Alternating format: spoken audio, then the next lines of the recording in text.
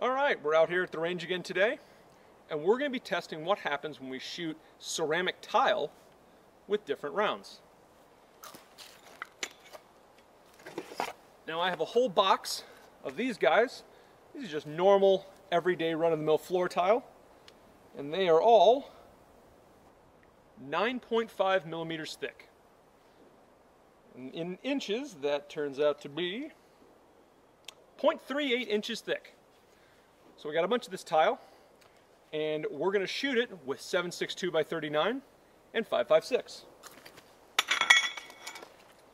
The rifles we're going to be using are a 16 inch barrel 5.56 PMAG adapter and a 16 inch barrel 7.62 by 39 AK pattern rifle.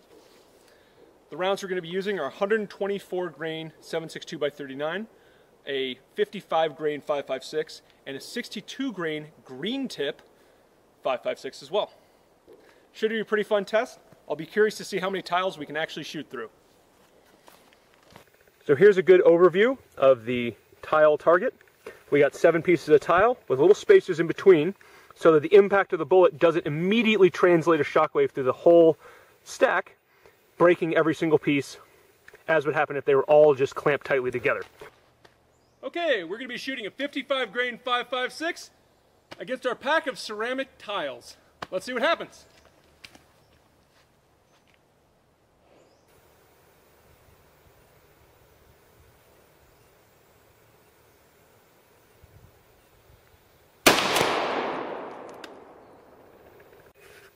Okay, that was the 55 grain 556. and look at that. Let's see what happened here. Well, of our stack of seven, we have one that's undamaged, two that's undamaged, and the rest, rest are totally gone. All right. Well, let's reset this and see if a 556 green tip penetrator can get through more than just five. Okay, we got our stack of ceramic tiles all reset. This time I have eight in the stack, just in case this green tip round goes a little bit further than the 55 grain. So let's see what happens.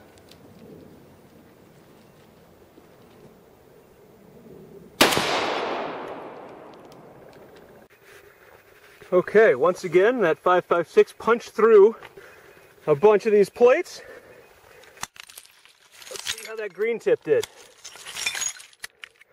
We got out of out of eight, one intact plate, two intact plates, three intact plates. So just like the 55 grain, the 62 grain green tip that's got that little steel core still only went through five total floor tiles. Interesting, no difference in penetration there. Kind of surprising, especially with that steel core. Well, let's reset this one more time and try 762 by 39 out. Okay, we got eight ceramic tiles out in that stack. Let's see how they do against 762 by 39 124 grain full metal jacket.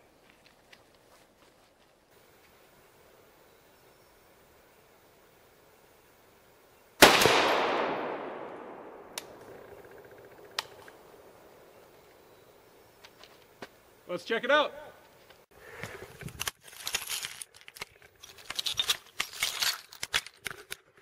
Okay, so out of eight plates, we have one undamaged, two undamaged,